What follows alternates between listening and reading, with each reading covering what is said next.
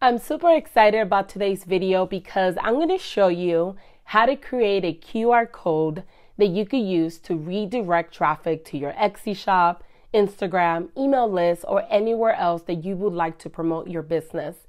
And what excites me the most about using a QR code is that when you sell on Etsy, the only place that you could add a clickable link is in your About Me section. But if your prospective customer doesn't go to that particular section of your shop, it is a lot harder to drive traffic to other destinations like your email list because you can't add a clickable link in your description.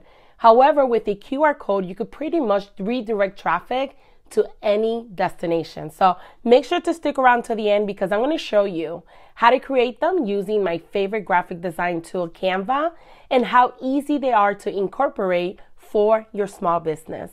Hi, and welcome back. If you're new to the channel, my name is Nancy, and I help small business owners turn their passions into profits. Make sure to subscribe to the channel for weekly videos, and don't forget to hit the notification bell to be the first one notified of any new video. Let's head over to Canva, and I'll show you how to do them. All right, so here we are on Canva. And all you need to do is right here on the navigation bar, go all the way down where it says more and click on QR code. Here's going to ask you for the URL where you want to drive traffic to.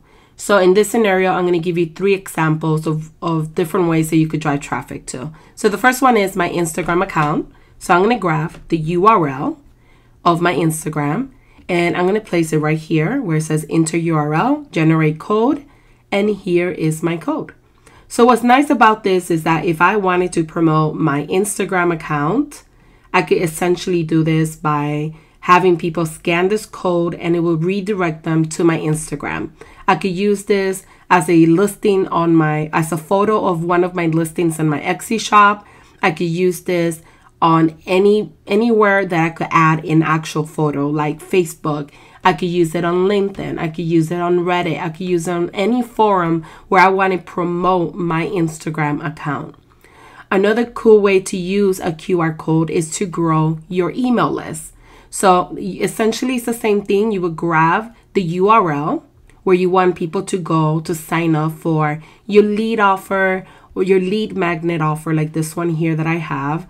Or maybe you have like an incentive. If you if they join your email list they get 10% off right um, on their first purchase on Etsy. So you would grab the URL you would essentially do the same thing enter the new URL generate code and here is your new code. So this is the code that people will scan in order to download my free lead magnet or your discount in this situation. Keep in mind, you could color the background. You could change the color of the background. You could use your branding colors. You could add your URL. You could add your logo. You could add your fonts so it's cohesive with your brand. And another great way to use a QR code is to go ahead and promote your Etsy store. And the same thing, you would just go to your Etsy store. Here's my smaller store that I use for tutorials. And from here, you would just go to, again, more. You would click on QR code. You will delete the previous URL, add your the new URL, generate code, and here is the code for my Etsy store. So now when people scan this code, it will take them directly to my Etsy store.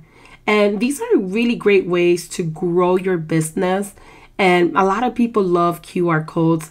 Many people also use them for their thank you card. So, in the thank you card on the bottom right corner, they might add a QR code that says, click here to visit our Etsy store, or click here and let's be friend on Instagram, right? So, you could cross promote when you're promoting to your buyers um, you could tell them, hey, follow us on Facebook, and you could have a QR code in your actual thank you card that you give them when they purchase from you.